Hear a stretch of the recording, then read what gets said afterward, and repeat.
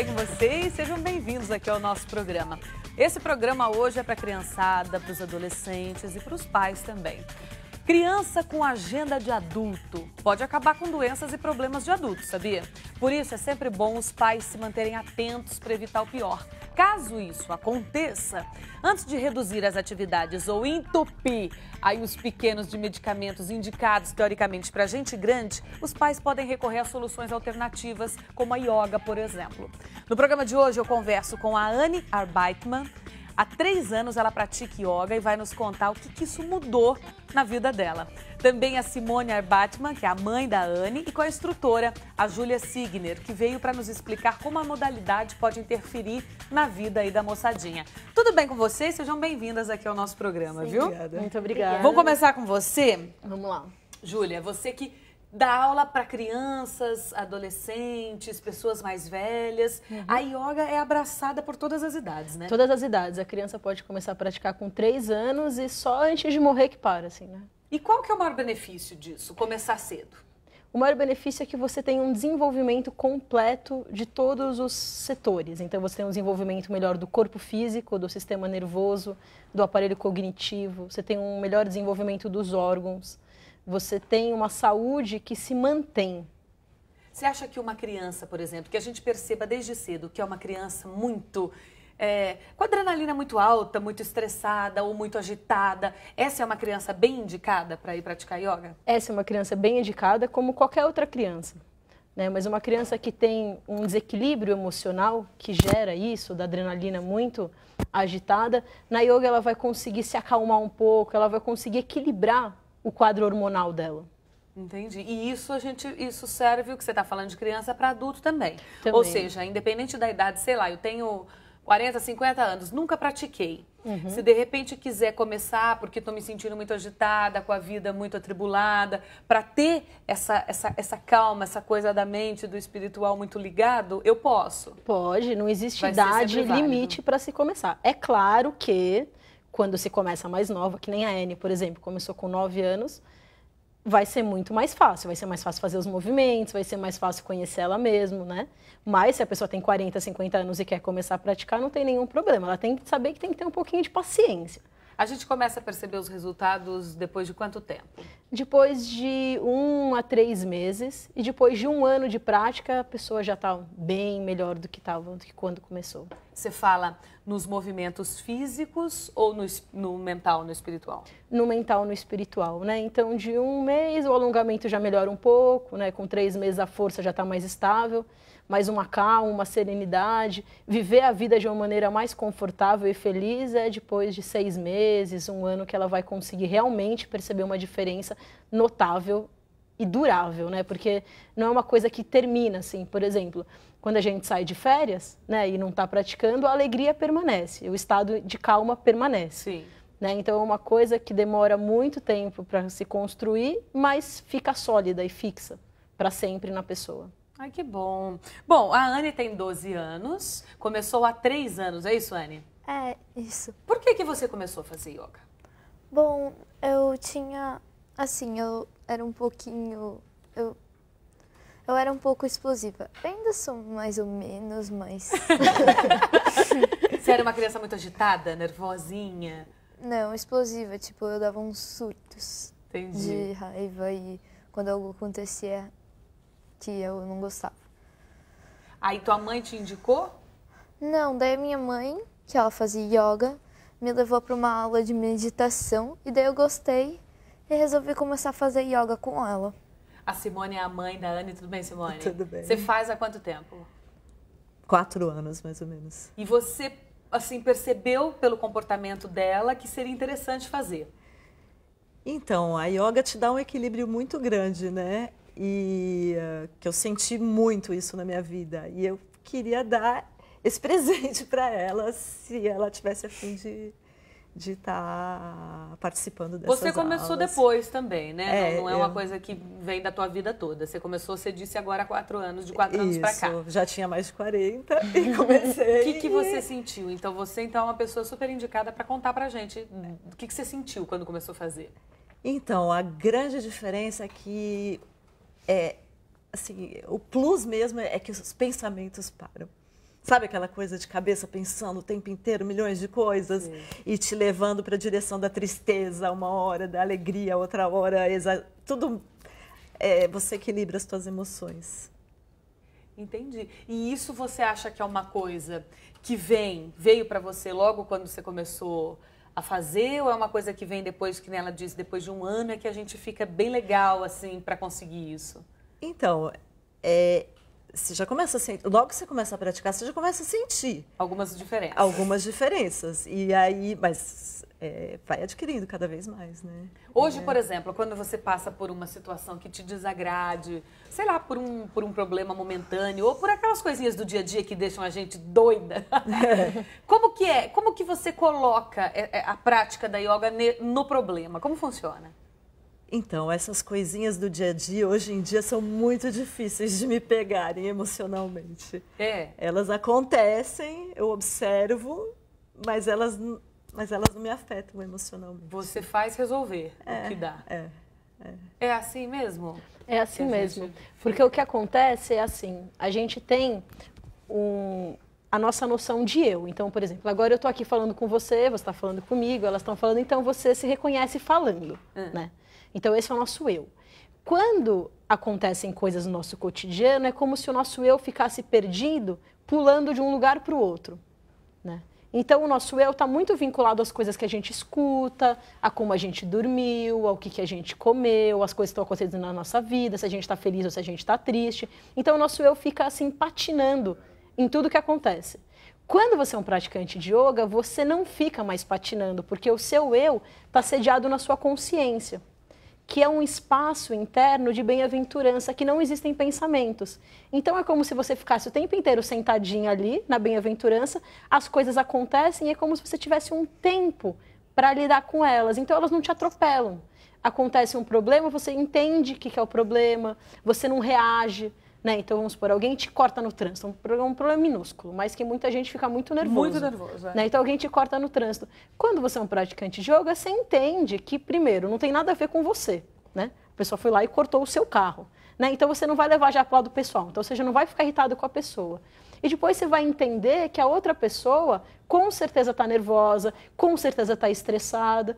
Daí você fala, bom, espero que ele fique melhor nem surge a raiva, a irritação, esse tipo de reação é por causa que o seu eu está muito conectado a esses ao cotidiano mesmo. Quando você cede o seu eu na consciência, esse tipo de coisa não acontece mais.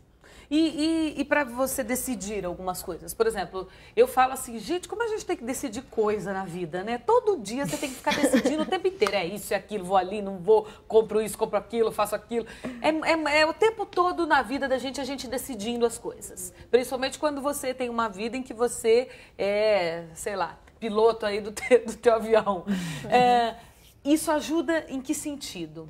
Ajuda em você conseguir ponderar as alternativas que você tem sem ficar afoita em cima de querer resolver na hora. Então, às vezes, ah, você vai, vamos supor, você vai num restaurante, decisão de que prato vou comer, né? E daí você já fica tentando ver o que, que o outro vai comer, se se você comer aquilo vai fazer bem ou não, e daí você já decide de qualquer jeito, né? Quando você tem um tempo, é como se, os, é como se você adquirisse um outro tempo interno. E daí você tem mais tempo, por mais que sejam só cinco minutos, como a sua mente não está disparada de pensamento, você tem mais tempo para poder conseguir ponderar as coisas com calma e ter uma boa decisão, porque a sua concentração está completamente no momento presente. Você não fica pensando o que você vai fazer depois do restaurante, o que você fez antes do restaurante, o problema, você consegue estar tá ali e apreciar aquele momento. Então isso faz com que a decisão seja precisa. Bom, nós vamos fazer um intervalo rapidinho, vou pedir licença para vocês. Na volta, nós vamos inclusive tentar fazer aqui um método, né, uma meditação um, um, dos métodos aí da yoga para ver se a gente consegue, né? Como é que você falou que, que o que a gente vai fazer? Da alegria? Não, da... A gente vai fazer estimular a nossa alegria. Estimular a nossa alegria. A diferença de pilates e yoga. Muita gente acha que é a mesma coisa, são exercícios parecidos que traz o mesmo resultado. E é bem diferente, na verdade, né? É bem diferente. O foco do pilates é muito medicinal, é muito voltado só para o corpo. Fortalecer o corpo, Fortalecer o corpo, então você coluna. Vê, isso, geralmente quem tem muita dor na coluna, quem tem algum problema no joelho, né, ou algum músculo, alguma outra parte do corpo que doa, vai fazer pilates e resolve. Agora, quem quer um pouco mais, não vai conseguir ficar satisfeito com Pilates e vai ter que ir para yoga. Porque a yoga, além do corpo, vai trabalhar a nossa energia, que são nossas sensações e nossas emoções, e a nossa mente, né? que é tão problemática nos dias de hoje. Que né? queria tanta coisa, É, né? porque também, assim, vamos supor, a gente vai. Tá vendo TV agora, né? Tem muita informação, né? Às vezes a pessoa fica mudando o canal, daí vê muita informação que vem, né? Tem uma dificuldade de ficar parado, escutar, né? Ou se não anda na rua, aquele monte de propaganda, um monte de gente falando, aí celular que não para de tocar. É, Então são muitos estímulos, né? E tudo para a mente. Né? Então, se não toma alguma coisa para a mente, realmente é muito difícil ser feliz. né? Bom, vamos fazer então um exercício? Vamos fazer um exercício. Vamos lá, comanda agora, fica Tá à bom. vontade. Eu vou pedir para todo mundo ficar reto. Agora eu vou querer que a Ellie monte um lótus. Isso. Isso. Então, essa, essa é a postura do lótus que ela tá, que eu tô. Né? Agora, todo mundo ficar com a coluna reta. Quem está com a perna cruzada, eu vou pedir para ficar com a perna Descruza. junta. Descruza. Né? Vamos esticar todo mundo o braço lá para cima. Alonga bem o braço. E sem mover a coluna, relaxa a mão e coloca lá no joelho. Isso. Agora a gente vai fechar os olhos e vai respirar fundo. Três vezes. Respira. E solta pelo nariz. Inspira. E expira. Inspira. E expira. Isso. Agora a gente vai imaginar que tem uma esfera de luz no nosso coração. Uma luz bem luminosa, branco arco-íris, no nosso coração. Um círculo de luz. E a gente vai inspirar, se conectar com esse círculo. E quando a gente expirar, a gente vai expandir esse círculo, como se a gente colorisse nosso corpo inteiro. E vamos fazer isso algumas vezes. A gente inspira, se conecta com o círculo. Expira, expande o círculo para todo o corpo. E mais um pouquinho. Inspira, conecta com o círculo. E expira, expande o círculo. Isso, agora a gente mantém os olhos fechados e procura lá no nosso centro do peito, lá no nosso coração, um espaço muito grande e muito amplo e alegre. Vamos tentar se conectar com esse lugar.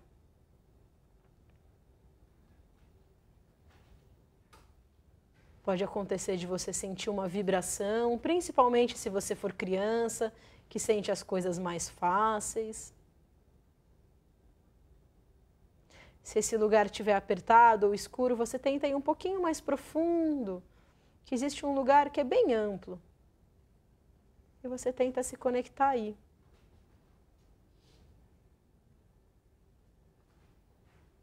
Aí você traz um leve sorriso, mesmo que seja forçado, para os seus lábios.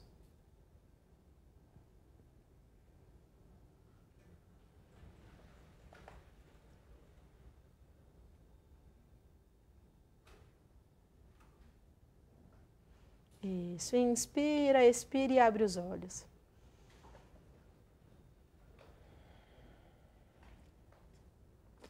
É Muito bom, bom. mesmo, né? Não é? É. Olha só, que bom. Dá uma paz, é verdade, né? Né?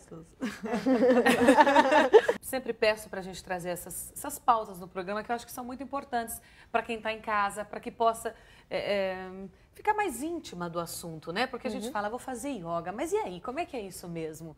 Então eu acho que é muito importante ter essa, essa consciência, né? De que a gente está trabalhando um pouco o lado espiritual, o lado mental. Não é só academia para ficar com o corpo bonito, né? Tem, tem outras coisas que merecem muito cuidado Mas também. acontece também do corpo ficar bonito, né? Ainda bem, né? É uma Tudo, consequência né? natural. Você pode fazer algum exercício junto com a Anne, só para mostrar pra gente? Sim. Só pra gente A gente vai ver. fazer um, um yantra que É. chama diamante. Tá. Tá? Vamos fazer desde o começo. Tá. Vamos lá pro chão.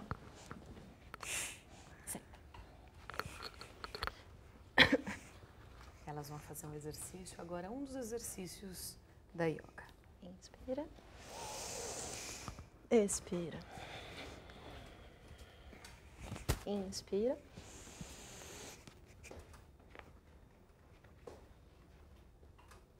Expira. Inspira. Expira. Assim. Nossa, que alongamento que você tem, hein, meu bem? que bacana. Anos de prática. Você pratica há quanto tempo? Quantos Eu anos? pratico há 13 anos. Nossa, é muito Todos tempo, os né? Bom, queria que vocês fizessem uma consideração final, que nós estamos chegando ao finalzinho do programa. Uhum. Simone, você que está fazendo né, há menos tempo, mas que já está sentindo há quatro anos toda, toda essa melhora, levou tua filha. Quem está em casa, de repente, está passando, às vezes, por algum momento, ou com um filho, ou para si mesmo, né, querendo uma coisa nova, cuidar mais, equilibrar mais um pouco. Eu queria que você falasse alguma coisa para essas pessoas, da tua experiência. Então, é uma, uma boa forma que você, você tem para evitar qualquer tipo de medicamento, sabe? As pessoas hoje em dia têm que tomar remédio para dormir, remédio para acordar. Eu não tomo nada disso. Dorme bem, Durmo passa um dia bem. tranquilo. é, e, ah, e, e é- além de trabalhar esse lado, tem a parte do corpo. Porque eu gosto muito de esporte, né? Então, te ajuda no alongamento, te ajuda na postura. A ficar com o corpo bonito também, né? É. E você, Anne? Tá gostando? Vai continuar então a fazer? Você gosta de praticar esporte? Não muito. Gosta não- mais da yoga. É, na verdade, eu não gosto muito de esporte coletivo. Eu não me dou muito bem. Yoga você faz sozinha. Eu gosto um pouco de tênis, eu acho, mas acho que é o único, um dos únicos esportes. Mas vai continuar na yoga, né? É, claro. que bom, que bom, viu? É, e você, Júlia, para a gente finalizar, queria que você deixasse também uma consideração final aí sobre o assunto. A yoga ela é, um- é uma prática que ela realmente precisa ser feita para ser compreendida, né? Então você viu, a gente fez aqui um exercício, daí você compreender um pouco mais profundo. Então eu É vou verdade. deixar um convite, né, para quem estiver ouvindo agora e quiser praticar. Pode ir lá na nossa escola, que é o Lotus Urbano, né? Então encontra na internet, né, lotusurbano.com.br.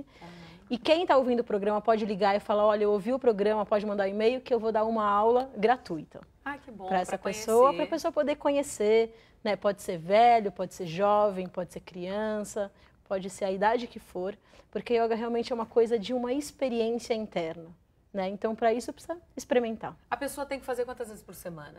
Ela pode fazer de uma a quatro vezes por semana, Vai cinco vezes por semana. dela. Da vontade, do do tempo, tempo, né? da disposição. Às vezes é melhor começar fazendo uma vez por semana, daí depois aumentar para duas, Com para uma a três, gente já sente algum quatro. resultado. Já sente Já um bom sente resultado, resultado. com certeza. Você começou com uma, Simone?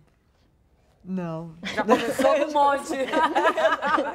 Mas, ela- agora é mais. É, Eu faço mas ela faz uma vez por semana. Porque eu não tenho muito tempo. Então, com uma já está resolvido. Já está resolvido. Ai, que bom, que bom, viu? Fico feliz, obrigada por terem vindo, parabéns pelo teu trabalho, Muito viu? obrigada. Seja sempre bem-vinda aqui ao nosso programa. Obrigada. E é isso, a gente chega ao final aqui de mais uma edição, né? Que você sinta um pouco dessa energia, dessa paz, dessa meditação, que você consiga aí, dentro do momento agitado que tem o teu dia, que tem o teu filho, que tem as pessoas que te cercam, que você consiga de vez em quando assumir um pouco dessa paz, dessa calma, pensar em coisas boas. Afinal, o nosso pensamento rege a nossa vida. A nossa frase de hoje, final aqui para você, é a seguinte. Ceder ao pessimismo, admitir que não existem saídas, perder a confiança, a esperança, nada disso nos trará luz. Trará sim mais escuridão. Então, faça o contrário. Que fique aqui todas essas dicas para você. Muito obrigada mais uma vez pela companhia. Record News, jornalismo 24 horas de plantão. Tchau.